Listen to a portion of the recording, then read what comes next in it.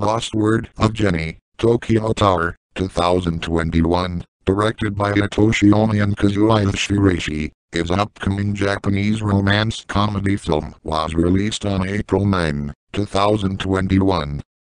Japanese illustrator, Lily Franky as Jerry the Magical Het, is a role similar to Barbie which has a cameo appearance.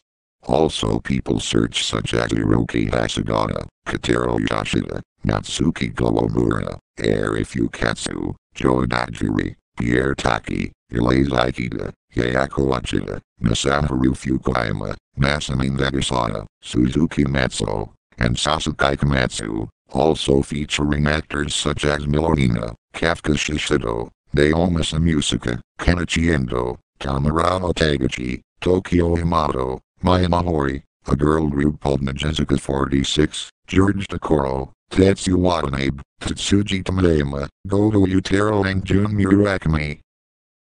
The Barbie doll failed in its introduction to Japan in the 1960s, but the long-time American favorite has been a hot item in the question mark 80s.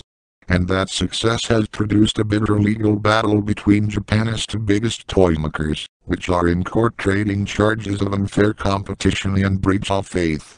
Takara Limited, Japan's number two toy manufacturer, is suing a joint venture between Mattel, Barbie's American maker, and the Japanese toy maker Bandai Company Limited.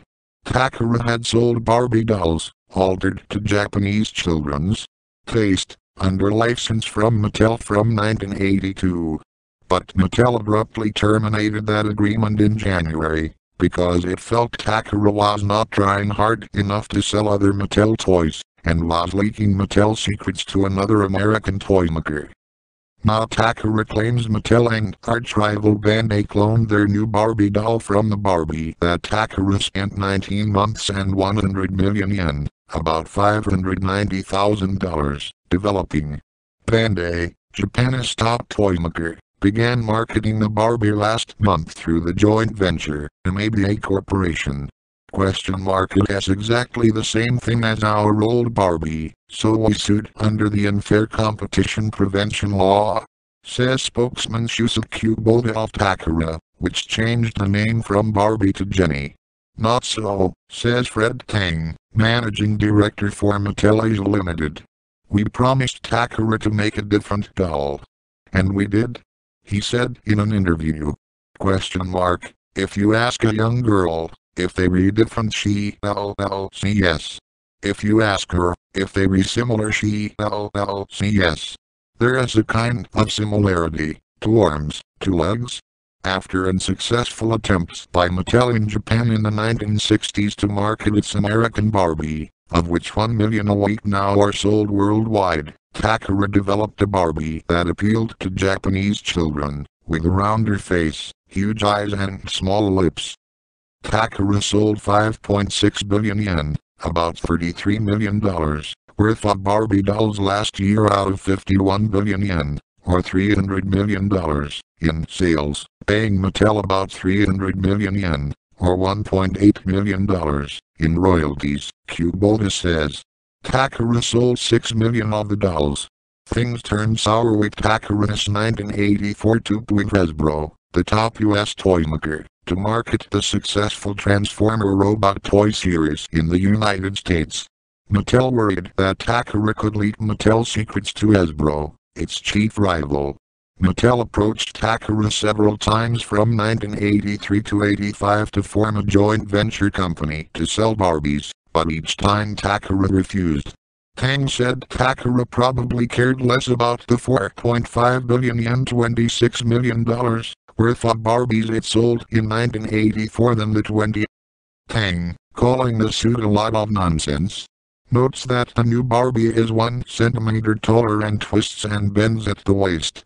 Miyuki Ishii, a toy sales clerk at Ginza's Matsuzaka department store, said, I can't tell the difference. Jenny seems to be selling better, but not many people seem to know there's a new Barbie. Takara and Mattel also are sparring over the dolls. Ad campaigns. Question mark we especially object to the ad. Barbie has come back from America? Question mark. Kubota says. Question mark they make it sound, as if our Barbie wasn't he the real one. Takara Barbie differs from a Western Barbie.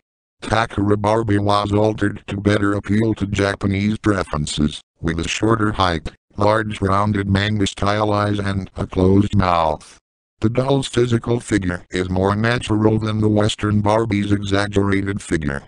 Like her Western counterpart, Jenny wears a large variety of outfits, which often include street fashion, school uniforms, kimono, and other uniquely Japanese costumes, such as bullet train stewardess Jenny.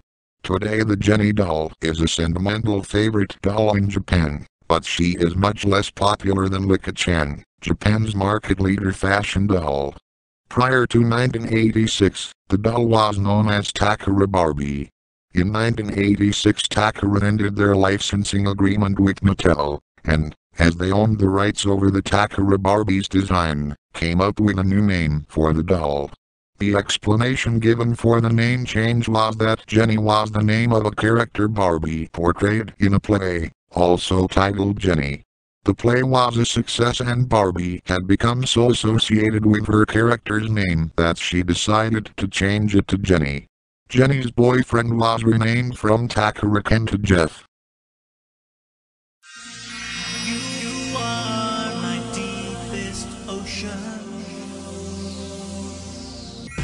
Jenny!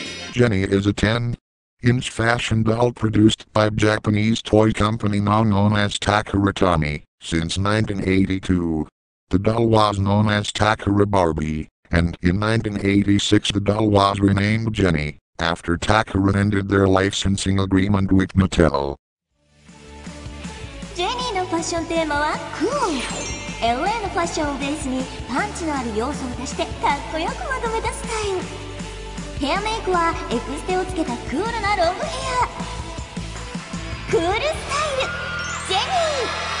To present the Soul Train Music Award for R&B Album of the Year by a male, here are Sinbad, Brian McKnight, and John A. The nominees for the R&B Album of the Year by a male are For the Cool in You, Babyface. I'm Ready, Tevin Campbell. The hit, the B-side, Prince. And Never Let Me Go, Luther Vandross. The Soul Train Music Award goes to For the Cool in You, Babyface.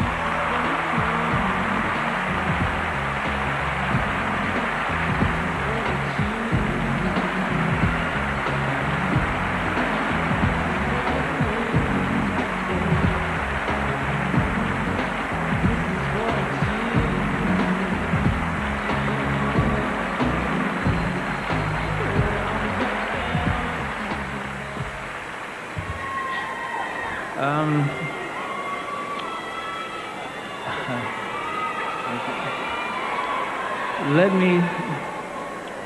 First thing, first thing I want to say is, um, I don't believe it first of all, but first thing I'd like to say, it's nice to know that a record like this at this point, in this time, it seems kind of unpopular to do a do a record that's uh, that doesn't start with a five-letter word that starts with a B, talking about women. And it's nice to know you don't have to say that these days. But I, um, first of all, I'd like to thank my wife Tracy. I'd like to thank my mom. I'd like to thank uh, uh, my best friend Daryl Simmons and co-producer, co-producer L.A. Reid as well. Uh, the record company, uh, Sony Records. I'd like to thank my manager Ramon Hervey. But most of all, I'd like to thank all my fans and thanks for being there for me. I love you all. The 8th Annual Soul Train Music Awards will continue with Whitney Houston and Bobby Brown. 乾杯をもっと美味しく札幌。大人エレベーター。それは大人を旅する不思議なエレベーター。その階には穏やかでロックな大人がいた。喧嘩は必要ですか？喧嘩大好きなんですよ。え？喧嘩というエネルギーの放出で一回軌道修正できるみたいな宇宙のビッグバンじゃないけどそこからまた再生する生まれ変わるみたいな感じで。大人の生札幌生ビール黒ラベルそれは大人を旅する不思議なエレベーター。他人を理解すること。分かりえないという前提で分かろうとする。そこに愛がある気がするので大丈夫。大人の生札幌生ビール黒ラベル。川村夏樹です。女優タレントです女優として初めてお仕事をした時にこのお仕事一生やり続けたいなと思いました。リリー・ベルのコットンマスクって蒸れなくて本当にお気に入りなんですよ。いろんな役を演じて表現することの楽しさを知りました。20年間習っていたクラシックバレエを通して基礎の大切さを学びました。そんなことよりもちょっとは恋なんぞ。だから表現者としてもっと努力してたくさんの人に笑顔を届けたいです。コットンって絶対必要じゃないですか。細かなとこまでしっかりケアができてたっぷり潤ってる自分の肌を見ると明日もやってやるぞって。私を表現したいんだ。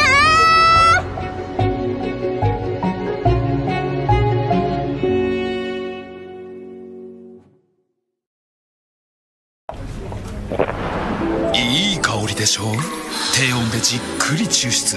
UCC ゴールドブリュー。カオルドブリューいえゴールドブリュー。カオルドブリューゴールドブリューカオルドブリューですまあそれでいい